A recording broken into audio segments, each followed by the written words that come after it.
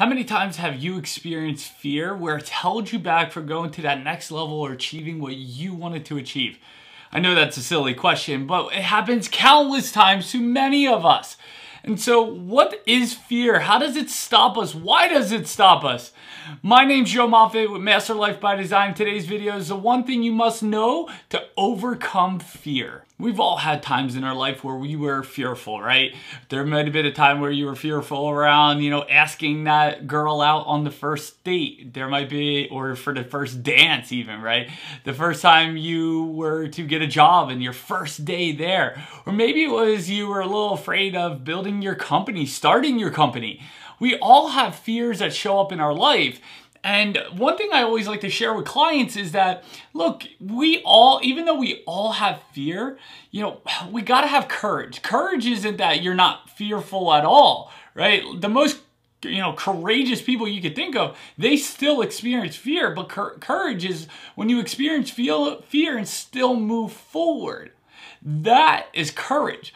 A lot of people think that you got to be this, you know, perfect person. Like you can't have fear. You got to destroy it all and just think positive. And I wish it was that simple, but it's not. That's not how fear works. Fear, when fear really kicks in, it's like our body goes into fight or flight, right? Like cortisol starts pumping through our body.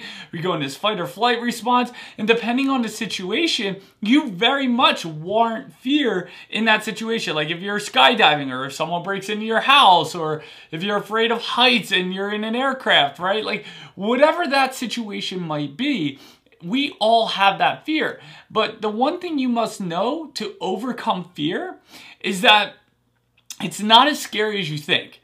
See, in our mind, we make up all these things about the situation on hand, like, oh my goodness, you know, I, am afraid of heights, I'm gonna fall, I'm gonna die, right? Uh, I'm gonna freeze up there, right? Whatever that fear is, it's not always as scary as when you go through it. Now, the only way to overcome fear is to actually do it. And I know that sounds counterintuitive, but you gotta take massive action because fear is like a barrier. And when you go to it, you kind of like stop at that edge, like, oh, you know, and all those thoughts are pumping through our head. You can't do it. You're not good enough. You're going to die. You're going to lose everything. She's not going to love you. She's going to cheat on you. He's going to cheat on you. Whatever that is, we kind of bump up. But what we need to do is we got to go through it. We got to go over it, around it, or under it, or make it do, or whatever you want to call it. But we, your success is on the other side of that fear. And no matter what you're doing in your life, there's always going to be barriers of fear that you know surround you. And until you understand fear and you don't work against it where there's this resistance, I don't want fear.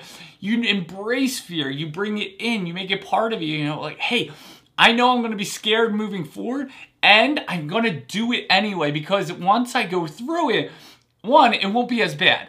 And number two, all the things that I desire, all the success or all the love or all the health that I want is on that other side. So if there's one thing that I can encourage you to do today is to go through the fear, but to remember, it's not as scary as you think it is. For example, I remember when I was in boot camp and I have, I don't like heights. I, you know, I just kind of have this little fear of heights. All those stories I was just sharing, they show up for me, but I still do things.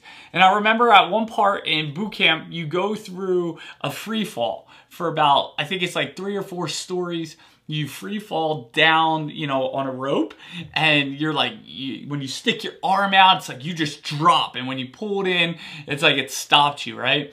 So on that rappel tower, you push off, you jump, and you're free falling, baby.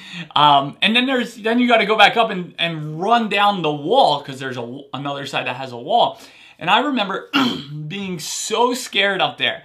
And I was a squad leader, right? I had like 20, 30 people in my squad that were watching me because I had to go first, right? Remember this, leaders go first. And so I had to go first and I was scared, you know, scared shitless, right? And I remember sitting up there, you know, you got to hold on after you got your contraption set up and you're leaning back and you're now perpendicular with the rappel wall or, you know, going straight down, right? Kind of parallel to the ground. And I remember the drill instructor said, go, and I had to push off. I was so scared in that moment, but I, I remember in my head, I said, I wouldn't be up here and we wouldn't be doing this if it was gonna kill people, you know, doing it, right? And I remembered saying that this is safe and I can do this. And I did. I jumped, I did it. And honestly, one of the coolest things happened to me. I had a blast. I remember doing that and then I had to go run back up and I had to rappel the wall. And I remember being afraid of heights. And the second time I went up, it was scary, but it wasn't as scary as the first time because I already had a reference in my brain that it wasn't as scary. In the beginning, when there's the unknown, it's super scary. And what's cool is I found myself wanting to do it more. I wanted to go again. I actually enjoyed it, even though every time I went up, I was still scared. So, anyway, fear is not as scary as you think it is. We just make up all these stories and picture things in our head that are way worse than they actually are. So, what I'm to encourage you guys to do is just know, right? It's like when you go through when you go through a traffic jam, you know that it's going to take time.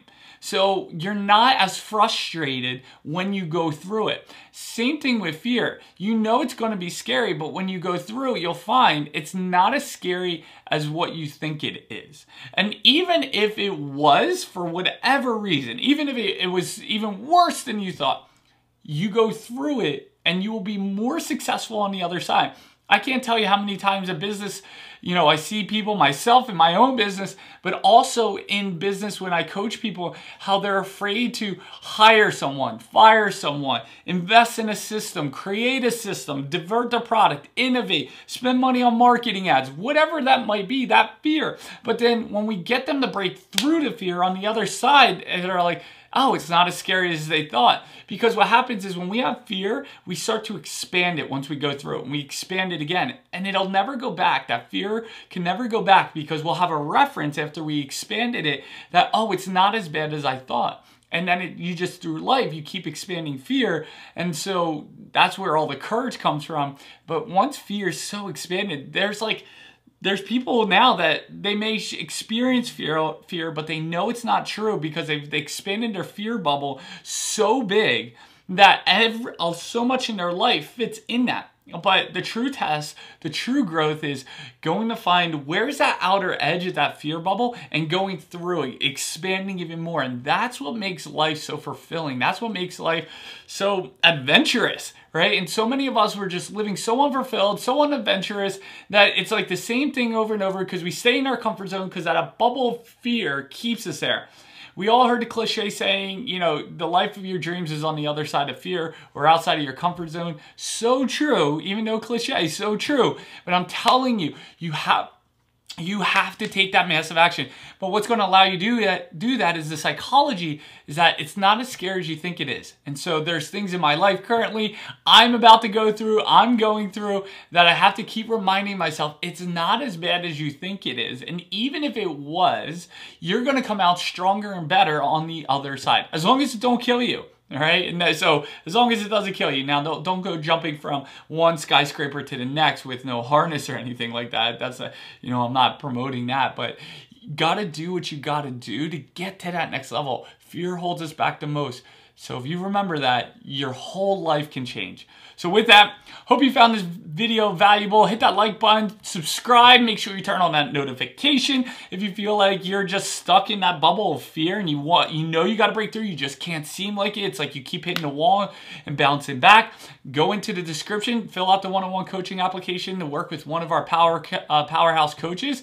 And then most importantly, I'd love for you guys to comment, what did you think? Do you agree? Do you disagree? Fill me in. I just want to hear the raw truth about what you think. So with that, my name's Joe Moffett with Master Life by Design. Have a great one. See ya.